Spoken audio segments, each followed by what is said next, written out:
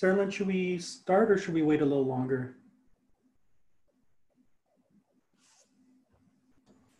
I think you're good to start whenever you're ready. Okay, great.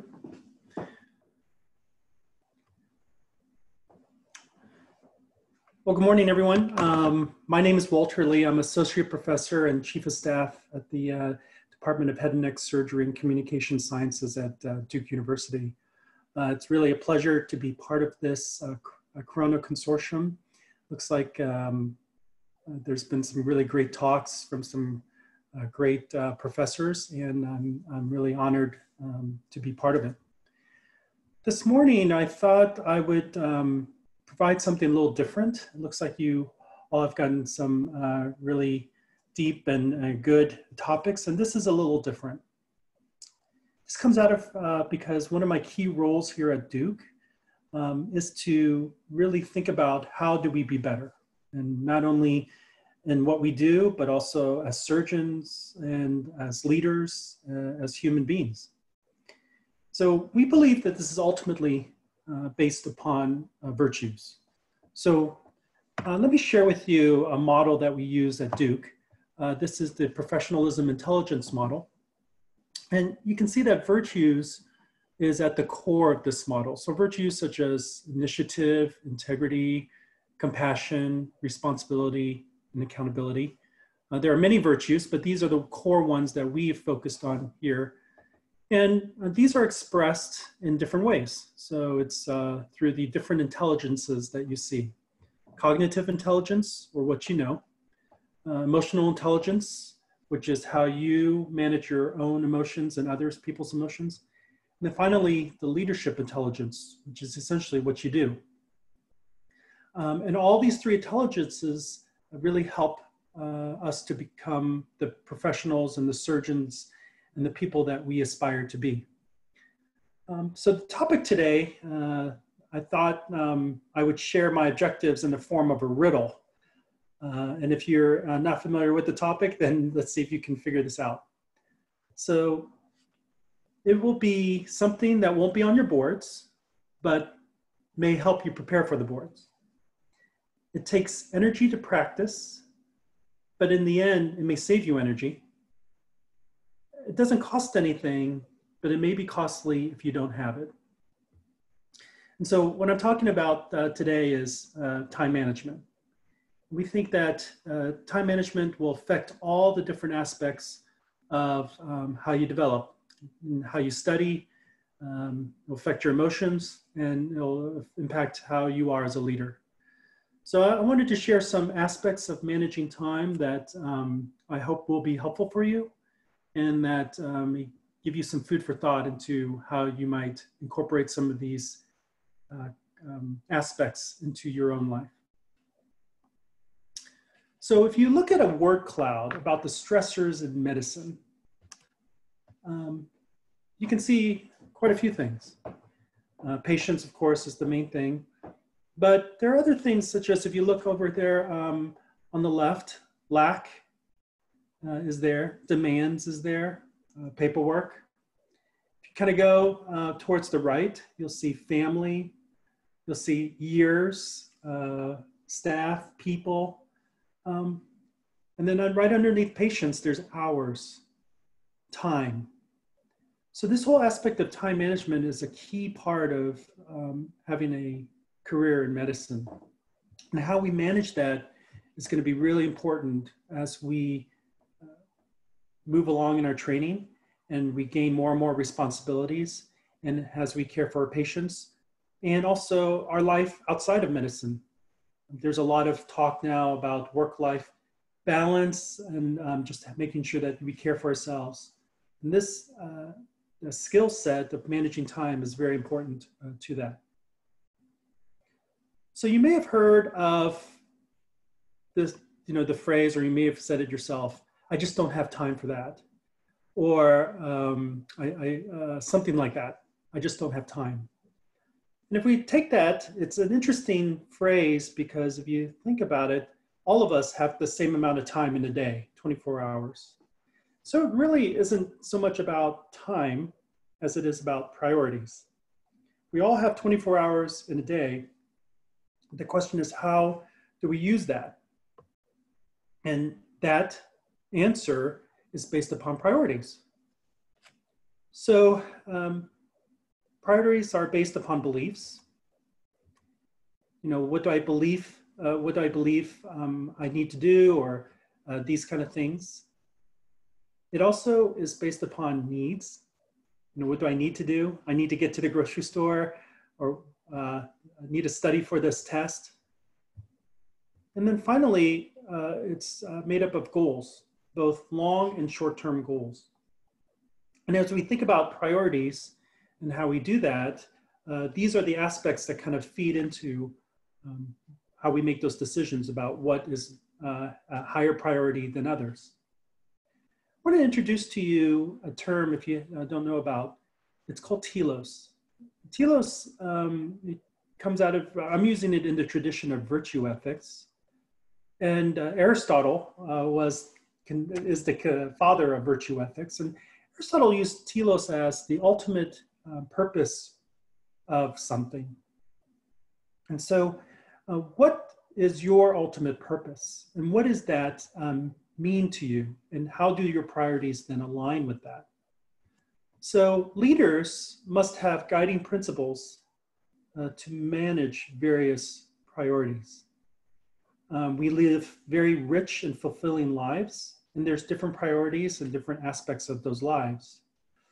And one thing that guides that is ultimately, you know, what do we feel like our purpose or ultimate meaning is? So this concept of telos is really important as we think about priorities and how we think about how we rank those priorities.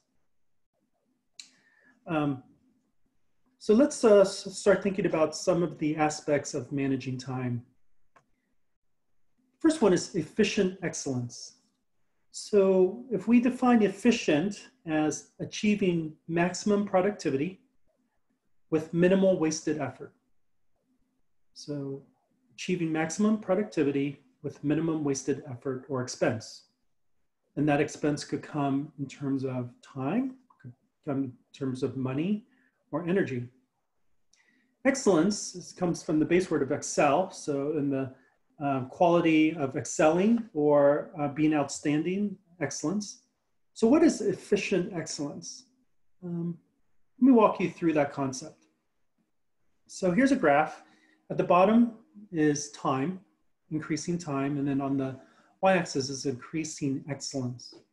So there's just different um, um, curves here that I've drawn. So the first curve is you can see over time, you kind of rise in excellence until you finally kind of hit a point where you can't get much better.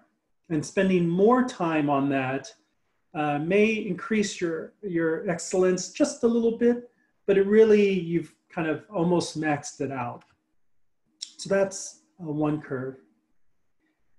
Second curve is less time that it took for you to get to that same point of excellence. So efficient excellence is essentially trying to move curve one to curve two, or uh, trying to left shift it. And one example that I can give from uh, my residency is, uh, you know, trying to think about if, when I got my epistaxis consult from the ER, learning how to take care of that well and uh, doing that, um, quickly learned that. So that took me time to the point where I could do that pretty well, take care of it, and then um, head back to the call room for some more sleep. Now, efficient excellence then would be me doing that, but then trying to say, how can I spend less time? How can I do that in a way that's quicker without sacrificing excellence or quality? That would be me moving it to the uh, curve one to curve two. And so then it became a game of, okay, I got called from the ER. How quickly can I get back to the call room um, to, to take care of this epistaxis consult, but taking care of it well, because there's no sense in having an issue and having to go back, which brings me to curve number three. So curve number three, you can see uh, takes less time uh, initially than curve number one to kind of get up, but then you flatten out early. So this would be a situation where, yeah, you did things quicker than um, you did before, but the quality or the excellence wasn't there, and now you've kind of uh, stopped, and so it just stayed there. And that's something we want to avoid too. Um, so it's not just about doing it faster or more efficient, it's also about um, doing it with excellence. So efficient excellence. So whatever you do um, as you're going through your daily um, um, duties, your routine, you think about, okay, I'm pretty good at this, but how can I do it in a way that's uh, practicing efficient excellence? Uh, the other concept, uh, another concept to keep in mind is that there's a season, there's a season for everything. And so those priorities change according to that season. So if you're um, taking the your board examination next month or two, now that's going to be different in terms of your priorities and how you spend that time than if you just finished your boards. Um, if you have family, or if you have kids, there's a season that you're going to be choosing to spend your time in different ways than if you didn't. And so making um, a constant evaluation about how those things are done and um, where that is in terms of your telos uh, is really important. Those priorities can and should change for each season. Um, so for example, there my parents' 50th anniversary is coming up in June, and that's a pretty busy uh, time for me. But choosing to spend that weekend with them um, and with the rest of the family is a priority that I put over uh, my other uh, responsibilities and trying to find people who can maybe uh, help cover me during that time. So these are things that we should all keep in mind and, and, and understand that this is natural and that nothing, no season lasts forever. Serving others trumps serving self. Um, so I'll share that perspective changes everything. And the example that I'll uh, give you is that when I first uh, got married, uh, my wife and I were working out kind of details of expectations and duties around the house. And one of them that my wife uh, um, should strongly strongly requested is that the toilet seat goes down after I use it. And initially, I'm like, well, okay. um, and if I were to think about myself, I'm like, well, that that's going to take extra time and effort, and you know, over a span of many years, that adds up. Or I could think about it, okay, instead of serving myself, I'm serving my wife. And so every time I do that, it's just a little something that I do for my wife because I know that she appreciates it. And now I realize that's probably more than you ever wanted to know about what's going on in my household. Uh, but in the era of COVID and, um, and washing hands, I thought I'd share with something that was very similar. So this was a, um, a non-scientific study uh, by a book, in a book that I, we're currently reading. And what they did was the author and someone else um, wanted to see about what motivates people to wash their hands. So they made one poster that said, hand hygiene prevents you from catching diseases. And they made a second poster that said, hand hygiene prevents patients from catching diseases. So you have one that's focused on you and the other one that's focused on patients. And what they did was they um, had somebody kind of secretly monitoring um, compared to baseline how often do people wash their hands and how much soap did they use in the dispenser.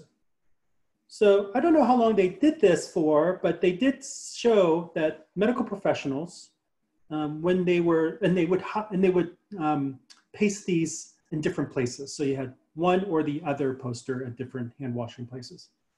And compared to baseline, they did find that the poster that was focused on patients versus the one that was focused on you showed a 10% more often washing their hands and that they used 45% more soap and gel.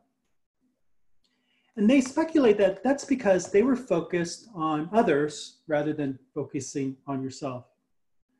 Um, so for your own uh, time during residency, perspective changes everything. It doesn't necessarily change what you do, but how you use that time and how efficient you are and a motivation behind it may be impacted by perspective. So if you have to study for the boards, if your kind of purpose and meaning is, well, because I want to score high on it, um, that may be different than if your purpose and meaning is, well, I want to be well prepared and well trained to take care, to take care of the patients that I'll be taking care of. And that perspective can change everything.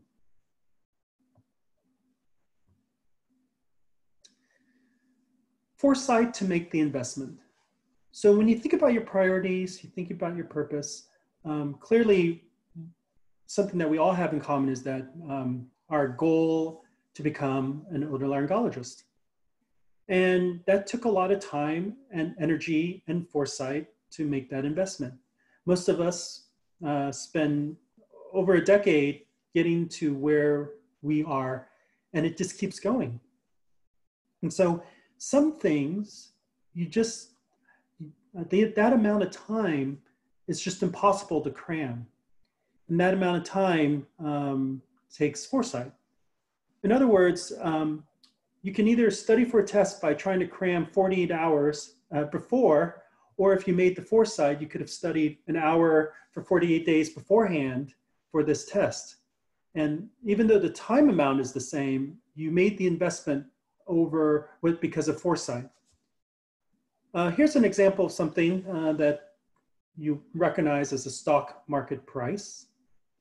And in 2005, this stock uh, for this company was about $10 um, at the beginning of two, 2006. But by the end of, uh, or currently, it's now uh, close to $300. And so if you could say, wow, if I had the foresight to invest, uh, you know, all of us would be uh, multimillionaires uh, with the stock. And this stock is Apple.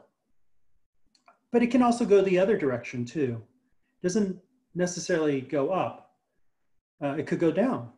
So if there are things that you're investing in that you're not really seeing the return on, or that it's not really a, a finding out that it's not aligned with your telos or your purpose, then selling that stock or getting out of it before it keeps going down is really important. So having the foresight to say, okay, I've got to drop that and use that time for something else uh, is, is also uh, very important. Organize and schedule. Um, again, you know, we didn't get to where we are by being just haphazard and uh, totally spontaneous. Uh, we organize, we kind of have personalities that um, schedule, have schedules. And that's really important when it comes to time management because if you plan for nothing, you will achieve it. And having um, things on your calendar to put on there so that you block it out is very, very important. Um, as part of my responsibilities and uh, my uh, academic uh, career, I write grants. And those grants um, need to be scheduled because trying to cram them in at the end of the day when I'm really tired or um, trying to kind of do it between cases just doesn't work well. So on my academic days or other days that I find, um, I'll actually block out a couple hours of time for grant writing and, and be very diligent to try to stick with that. Uh, because again, if you don't schedule uh, that time, the time's going to just slip away and, and you'll, and you'll uh, not be able to uh, make the best of it. So laser focus, you may have um, heard of this concept of, of being in the zone that's often used in sports or other things. And so I would uh, uh, bet and wager that all of us have had that experience of being in the zone. Um, where you just things really are crystal clear and things are um, um, you're really kind of grasping it and are able to move ahead in a way that, wow, that, that's really very close to excellence. Another related concept to being in the zone is flow.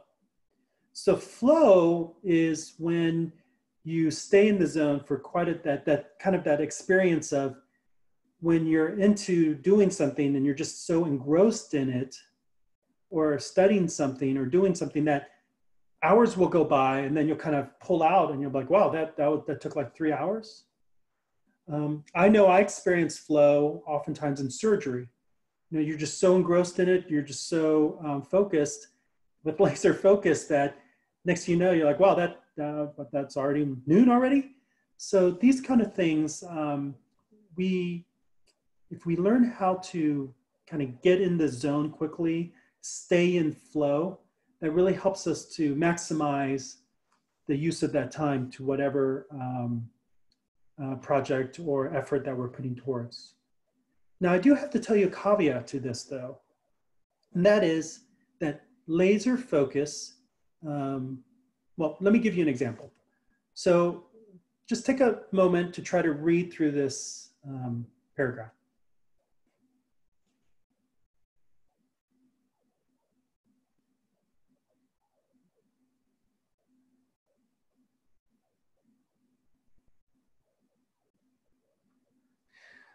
So I'll do the same paragraph and see how quickly and easily you can read through the same paragraph. The only difference between these two paragraphs is the space. And the space makes all the difference. And so the caveat that I wanted to share with you about laser focus is you have to know when and where to apply laser focus. You can't just be laser focused all the time. First of all, it's impossible. Second of all, if you're laser focused at, let's say, somebody's birthday party, that's a little bit weird and creepy. And you're like so laser focused on cutting the cake, you're laser focused on like talking to somebody, and you're gonna creep people out.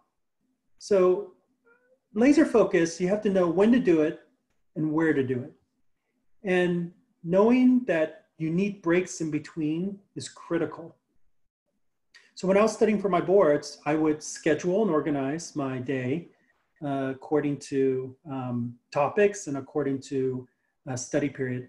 But if you were to look at that schedule, it wasn't that I would schedule three hours of study in the morning and then four hours study in the afternoon. It actually looks something like 30 minutes, five minute break, 30 minute study, five minute break, another 30 minute study, and then 15 minute break, so I had space and break um, interspersed throughout the entire day. So at the end of the day, I actually was able to study more hours uh, without much fatigue. And I can tell you that um, knowing that I had a break coming up in 30 minutes or 45 minutes, I was able to more mentally laser focus than if I said, oh my gosh, I have two more hours of work. Let me go get something to drink. Um, let me check my email you know, those kind of things. So laser focus is really important uh, for time management, knowing when and where. So this is a process um, that is the four R's, um, and I, it's pretty straightforward, but it's really important when it comes to um, maximizing your time. And so uh, it's basically review, ready, recall, repeat, you go. So the application of this is comes when I tell uh, our residents, you know, if I got an OR day on Friday, you know, by the end of the today, you should have done this uh, operation three times. And so what I mean by that is you did it three times because the first time you did it was when you were reviewing the surgical outlets, you were going through the steps in your mind before the actual operation. And then the second time you did it was when you did it with me uh, in the OR, so you were ready to go. And the third time you did it was when you dictated the operative note, because then you were kind of recalling the things that, uh, the steps and the things that you did of the operation. And then you repeat it. And the nice thing about the repeating is that it's not just, it doesn't stay in the same circle, it actually improves. So the second time you do this surgery, you review it, but you review it with all the pearls that you learned from the first time. And then you just keep building this review so that uh, you keep getting closer and closer to that um, uh, excellence uh, curve that I was talking about. So this really helps you build efficient excellence.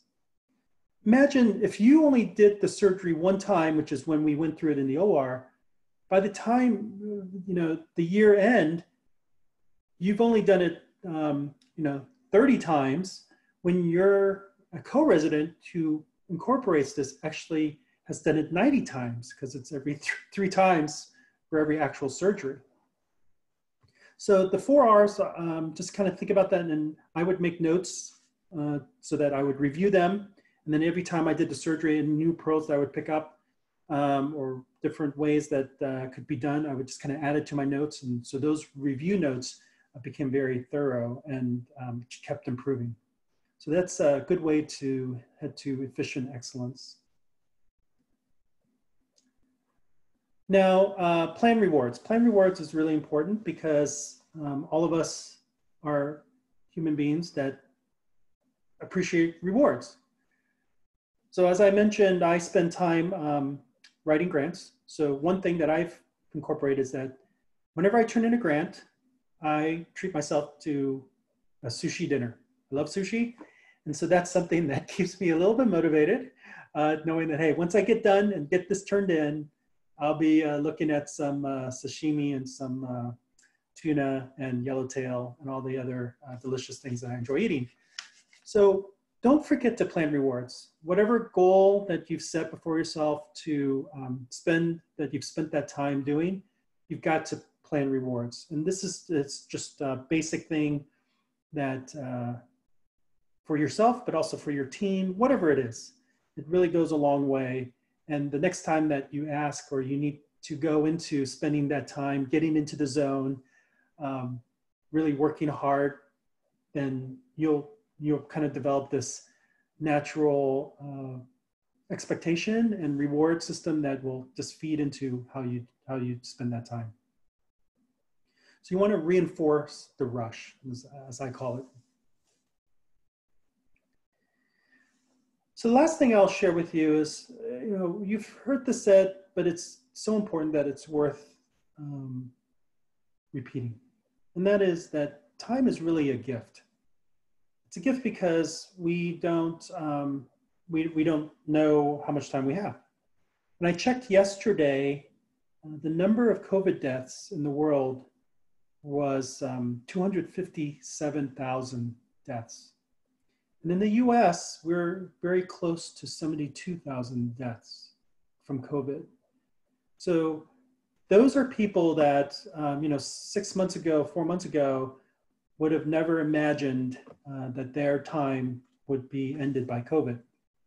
And, you know, that goes for all of us. We just don't know uh, how much time we have so when you kind of think about these things that we do and how we spend this time and how it fits not only in our goals short term and long term but also in the kind of person that we would want to become and be then uh, keeping this in mind really does help you figure out well what are the priorities and what are um, not priorities. So I'll, I'll leave uh, the, I'll finish this by kind of asking you, well, what is it about your goals and needs and, and purpose that you need some time to think through and to really make sure that that time that you're spending is proportional to those goals uh, and aspirations that you have. And um, I, I, wish you all the best in your um, training and your future career. Thanks so much.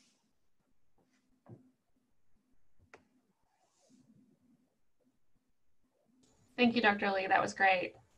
Yeah, uh, I don't know if we have, I guess we have time for um, questions. oh, absolutely. If anyone has any questions, they can use the chat or the Q&A function.